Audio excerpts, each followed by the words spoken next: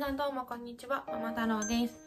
たくさんある動画の中からこの動画を見ていただきありがとうございます。とチャンネル登録してくださっている方々もいつも本当にありがとうございます。と今回なんですけど、練習動画ではなくて、あのバレルを新調したので、そのご紹介をしたいと思いまして、動画を撮りました。今回新調するした理由は、最近誕生日を迎えまして、ダーツ初心者で全然知識のないパパがいろいろ考えてお店に行ってこうバレルを交換できるチケットをこちらをプレゼントしてくれました。とっても嬉しいです。し宝物が増えましたそこで、えっと、新しいバレルをあの買えるか買うというか交換見つけることにしました。それでってもいい。ダーツの。バレルなんて言うんだろう。とってもいい感じのものが見つかったのでそれをちょっとご紹介しようと思います。えっとだいぶ重さも 21g から 17g に変わったりとかしてるのでちょっとその詳細を、えっと、その次の切り替わりでご紹介したいと思いますのでぜひ今回も最後まで見ていってください。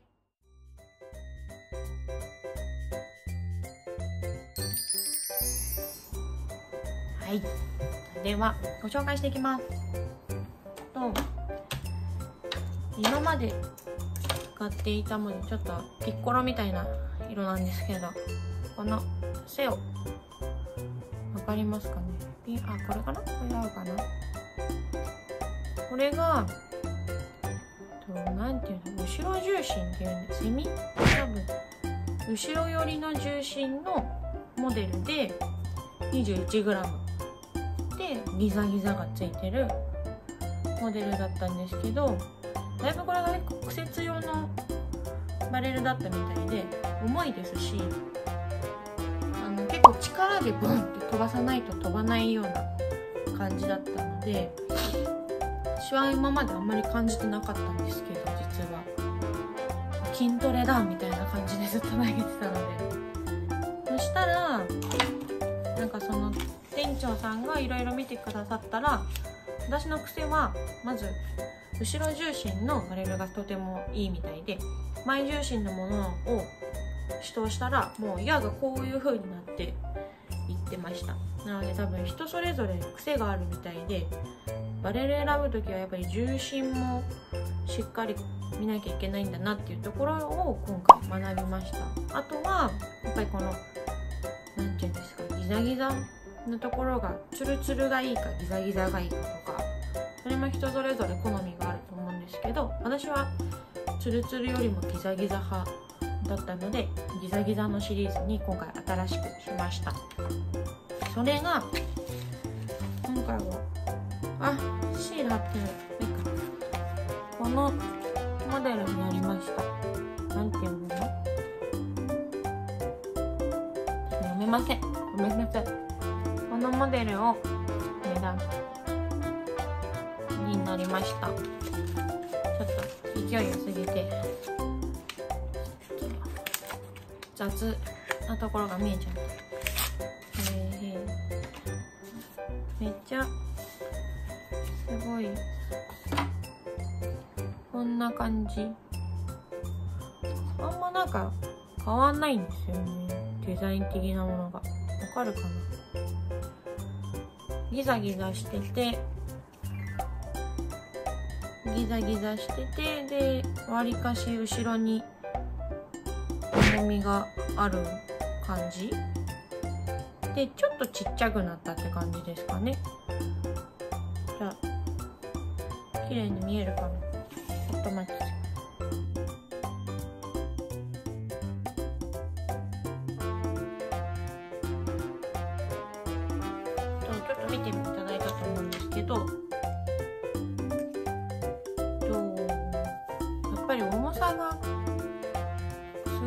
今まで重かったので飛ばそうとすると結構上行ってしまいますし力を抜くとビューンって下に下がるような実は投げ投げ感というか感覚だったので、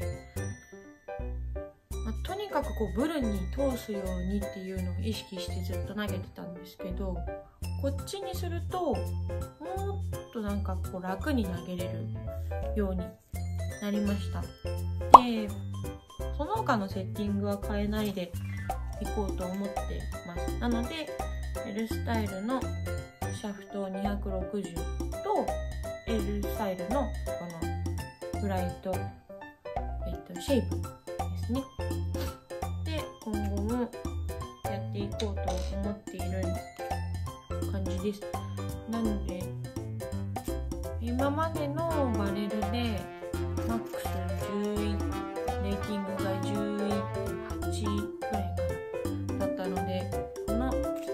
しいバレルでどこまで頑張れるのか自分の成長の何て言うんですかね多分ターニングポイントな気がするので今後上げる動画はこの新しいバレルで上げていきますのでよろしくお願いします。で一個ちょっとすごい出会いがあってそのちょっと世間話になっちゃうんですけどそこの店長さんが私が住んでた実家のところにところにある高校に通ってて私は今もう実家から多分何百メートル何百メートルじゃない何百キロって離れててすごい遠いところにも住んでるのでここで実家のところに実家を知ってる人と出会うと思ってなかったのですごい世間狭いなと思っててで実家が飲食店やってるやってるんですけどそこにも来たことがある方でこんなことってあるのかって思ってなんかすごい家族パパと息子と一緒に行ったんですけどみんなで「えー!」っていう感じのすごい出会いがありましたでそこでちょっといろいろやっぱプロもう一回戻らないのとかいろいろお話いただいたりもしててやっぱり今まで満喫でずっと投げてたので誰のサポートもなく投げていたのでちょっとこうやっぱりこうプロになるにも維持期というか対戦しないとやっぱり実力も評価してもらえない世界なので子育てもしながら難しいんじゃないかって思っているんですけどでも可能性としてはなんだかんだでまだ30代だし40代になっても強いダーツダーツママでありたいとやっぱりすごい思うので自分がその今掲げてるレーティング13なので WA ですね。それを超えたらょっとプロ試験受けることもちょっと考えようかなと今思ってます。まあちょっと団体もどっちに入るか定めてないんですが、まあ、そのとにかく多分レーティング自分の実力上げない限りは勝てないことは確かなので、まあ、今目標に掲げてる WA まず行ってそこに行く実力が、ね、あったらまた自分への可能性の扉を試験を受けて開きたいなと思っております。なのでその成長記録となると思いますこの動画が。もともとダーツ始めた時のレーティングも2.9ぐらいだったんでやり続ければ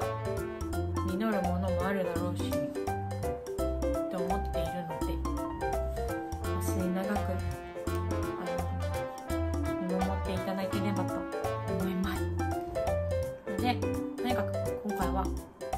この最高のバレルに出会えたことに感謝という感じですね。本当にパパのおかげで宝物も増えてやる気も芽生えてそしてお店の方ともすごい出会いがあってこれも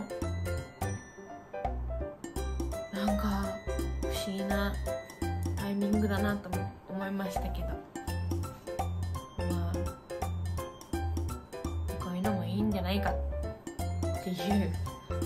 間話でした。以上です。